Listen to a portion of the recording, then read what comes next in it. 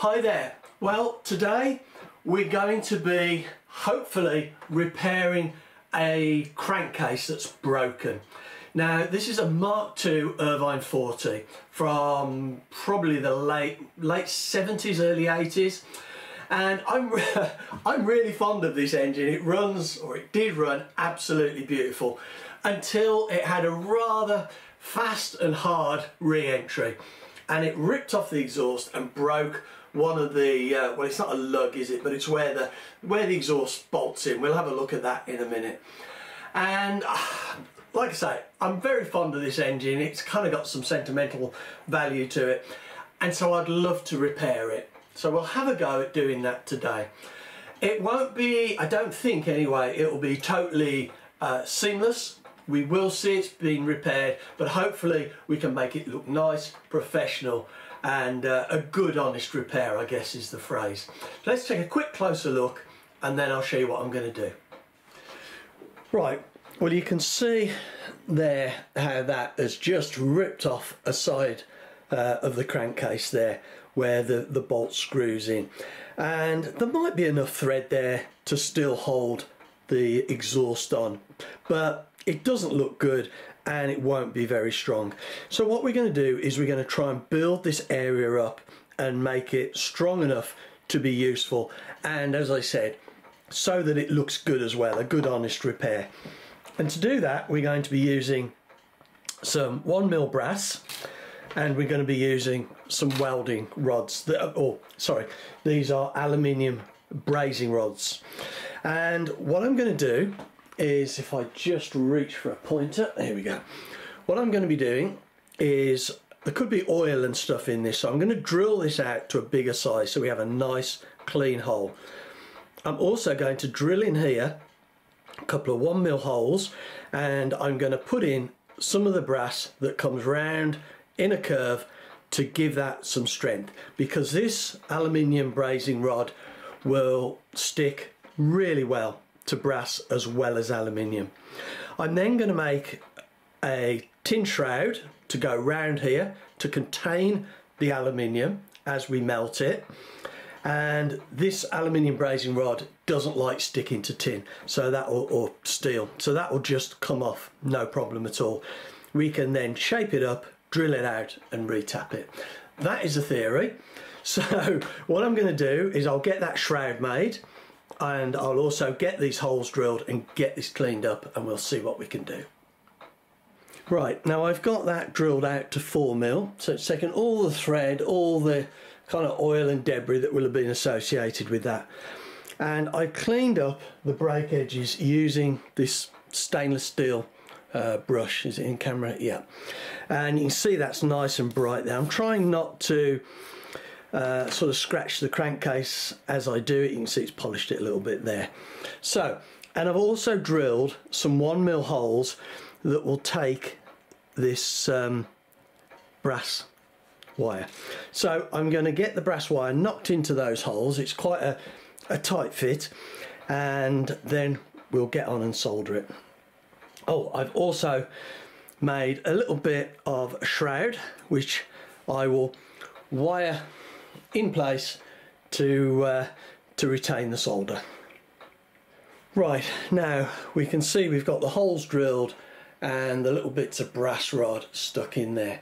And so when that is soldered up, hopefully those brass rods will be clear of the new thread and clear of the outside here and they will give more strength. I mean this aluminium brazing rod really sticks well to aluminium. It, it, really is quite strong. But this, on a high pressure joint like this, or a, high stress joint like this, will provide a little bit more strength, particularly if it comes down with a bang again. so I will get on this shroud. I'm just going to wire that on. The last thing we want is that coming loose halfway through heating it up and I'll get this set up. Because this is aluminium it loses heat really rapidly as we heat it so we need to be wrapping that up to retain as much heat as possible. You can see I've got this all set up now.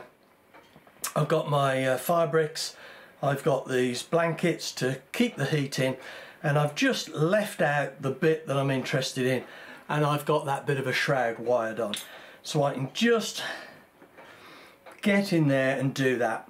And what I'm going to do is I'm going to be using uh, MAPP gas. So uh, nice and hot. So I will get this done now and I will warn you that my fire alarm above the bench will go off I'm sure. And um, but we'll just press on and get this done. So my apologies for the sound. If it does go off which I'm fairly sure it will I'll put the fan on as well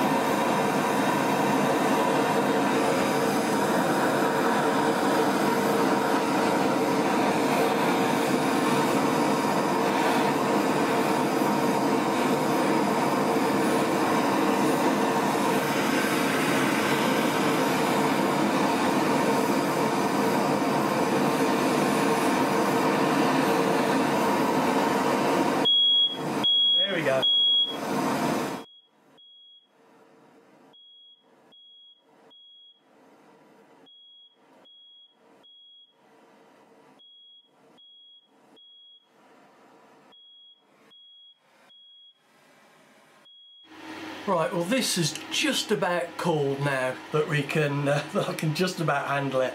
And you can see we've got a great big blob of solder on there.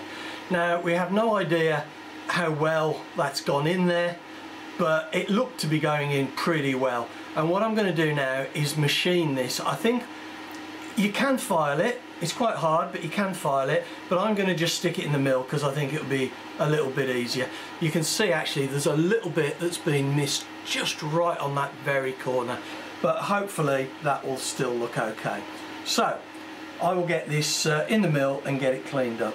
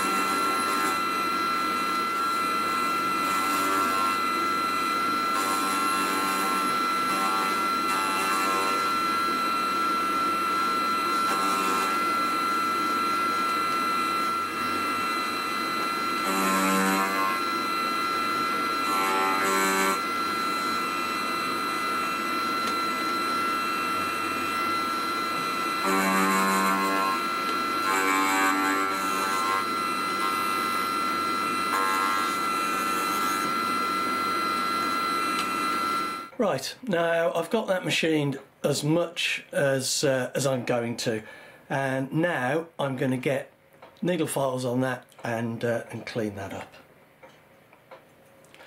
Right, I've now got the crankcase cleaned up and I'm really pleased with how it's looking.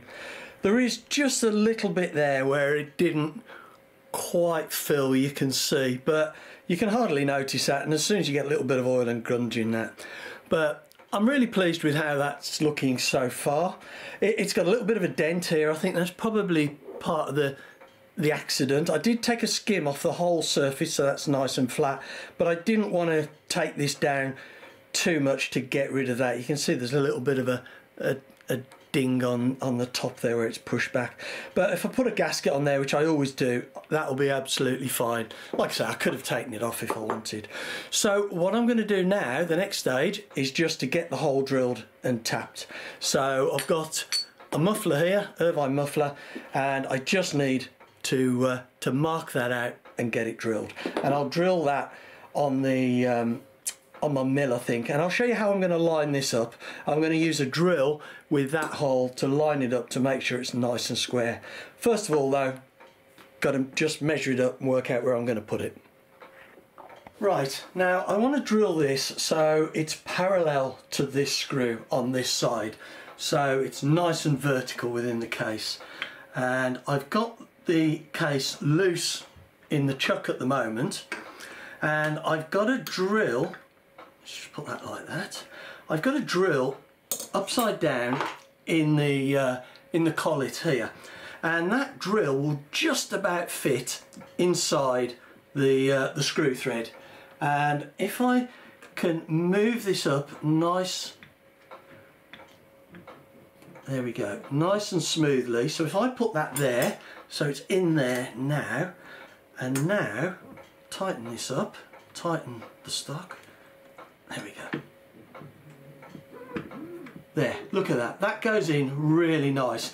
So now if we move the chuck across, we'll know we'll get this one on just the same orientation as that one. So let's just make sure I've got this tight because we don't want it moving with the pressure of drilling.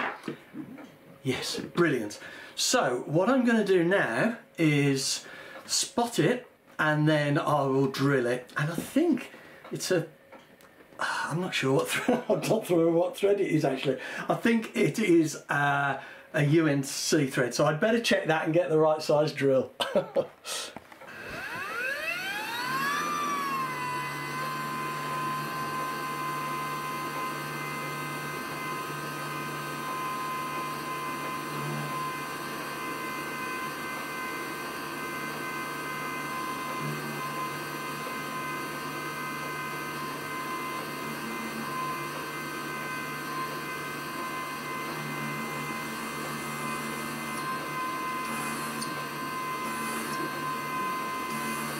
let's get this drilled.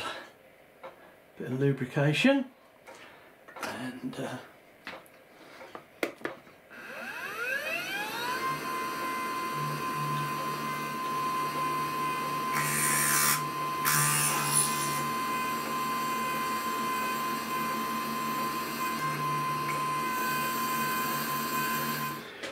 Right, well we'll just get this tap now and this is 540 UNC so easy enough to do. Right well we've got that tapped out and uh, we'll just try this screw in it. Oh yeah look at that lovely. Really nice. So what I'll do is uh, is I'll get the exhaust on this now and uh, it would be good. Get it fitted Right, well there we go. We've now got our crankcase repaired and I am so pleased to get this done because I can now start to build up this engine and I can use it again. It's had quite a lot of wear this engine but it runs so well and without looking at that in detail, scrutinising it, you probably wouldn't notice it's been repaired once it's tarnished down a little bit. I mean I could have spent more time trying to finish it off and blended in but this is a working engine and it's an honest repair. And uh, quite frankly it's great to get it done. Well I just need to get this engine built back up now and running again. It'll be great to get it running. Uh, but I suppose the real question is what am I going to put this in? I need to think of a model for it. And the plane that I actually was a flying wing that this was in when it uh, came down to ground so hard isn't coming back from that crash. So it definitely needs a new model. And this is a great technique and I've used it a few times before and I'm looking forward to using it again. I've got a few different projects in mind. And I mean it's it's a relatively easy technique but I would suggest if you're going to do it practice on an old crankcase, an old exhaust manifold or something. Because there, there, are two things the key to this. Is getting the temperature right too hot you'll melt it not hot enough just won't work. So the, the temperature is crucial but also getting it clean. So anyway really pleased to get this done and I hope you found it interesting and useful and will experiment yourself trying to fix some of those broken engines. So anyway thanks very much for watching